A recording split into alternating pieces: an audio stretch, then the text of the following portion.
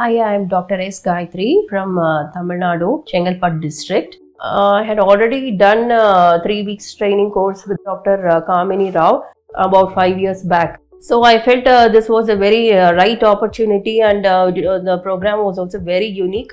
So I joined immediately. But once I joined the uh, classes, I found that it was very useful and my theory knowledge got to improve a lot by weekly classes which were uh, taken by trained uh, and experienced people and who take their time in clearing uh, our doubts and all that. And now i come for the simulation training. And simulation training uh, especially the ovum pickup embryo transfer iui and uh, hysteroscopy and all that they are very too good. And it's almost like doing on a real patient because i have been doing on real patients also.